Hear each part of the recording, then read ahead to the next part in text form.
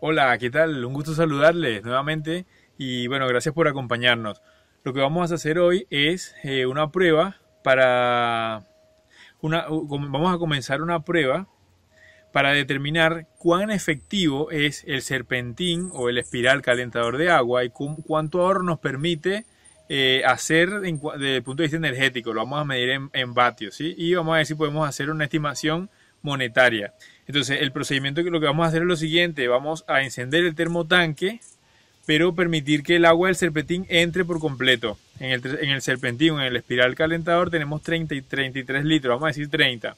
Entonces, el, termotanque es de 60, vamos a vaciar 30 litros para que se sustituya el agua que se ha estado calentando desde, estamos ahora a mediodía. Entonces, ya esa agua se ha estado calentando, vamos a dejar que, vamos a sustituirla y ahí vamos a encender el termotanque eléctrico a, a la máxima potencia, ¿sí?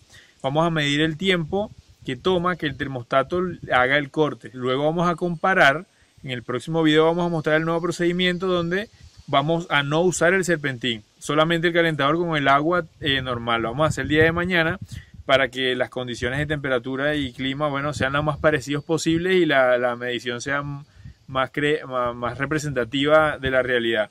Así que bueno, empezamos y vamos a, sustituir el agua, eh, le arrancamos y medimos el tiempo. Eh, para tener una indicación de la radiación solar y poder hacer una comparación real y, hacer la determinación de la línea base de la temperatura natural del agua en, el donde estamos, registramos desde las 9 de la mañana la radiación solar que estamos teniendo, pero el voltaje. ¿sí? Eh, nuestros paneles solares son en realidad un sensor de radiación solar y como tal lo estamos usando. Vamos a usar eh, el voltaje, ¿sí? que el controlador de carga no lo afecta el, voltaje eh, realmente mide cuánta radiación tenemos y el controlador trabaja solo modificando el amperaje que lo manda a la batería o lo disipa en su circuito cuando ya la batería está cargada, pero el voltaje siempre es el indicador real de qué tanta radiación estamos captando con una orientación fija de los paneles.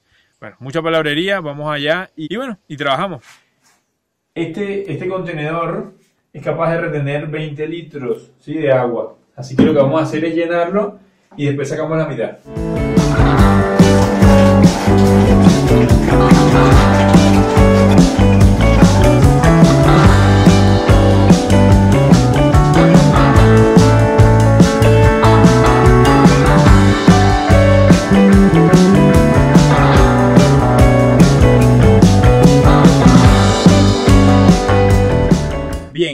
Sustituimos en el termotanque 30 litros de agua, lo que quiere decir que lo que está en el serpentín ya entró, está adentro. Es lo mejor que tenemos, ¿sí? Estamos en pleno mediodía. Ahora, encendemos el termotanque. La maniobra, obviamente. A ver, nosotros tenemos un termotanque de 1500 vatios.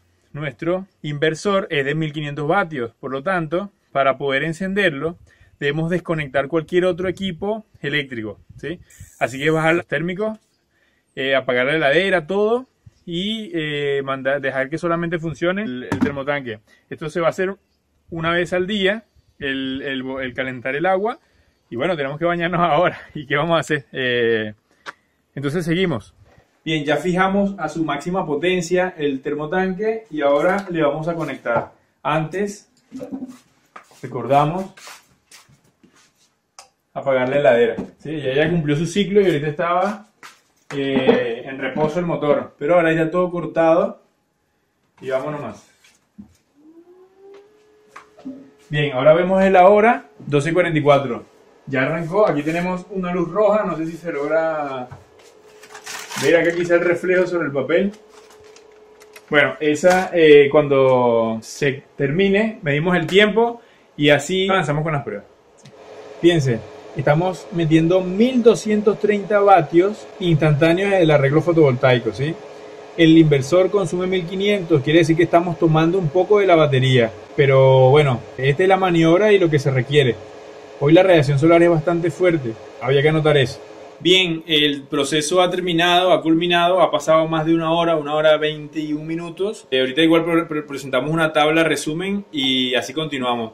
Ahora vamos a desconectar el termotanque reanudamos toda la casa, la heladera, todo para que funcione normalmente, ya que tenemos agua caliente. Hay que anotar que estamos en un día de otoño, eh, aunque está muy soleado y la radiación es bastante intensa, hace bastante frío, tenemos una temperatura ambiente que vamos a ponerle ahí también en la tabla para que haya toda, para que se muestren todas las condiciones en las que hicimos esta prueba y obviamente esto va a ir cambiando el tiempo de que toma calentar el agua en base a lo que aporta el serpentín, pero la temperatura del agua también eh, ambiente, ¿sí? Con la prueba que vamos a hacer en el próximo video vamos a determinar esa línea base que es el agua a la temperatura ambiente, ¿sí? Afectada después por el serpentín y afectada después por el termotanque.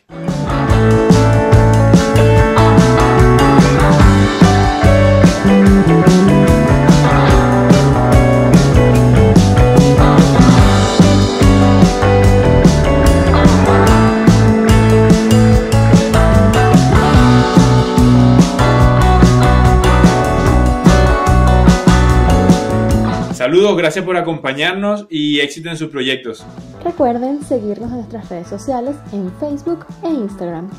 Nos vemos.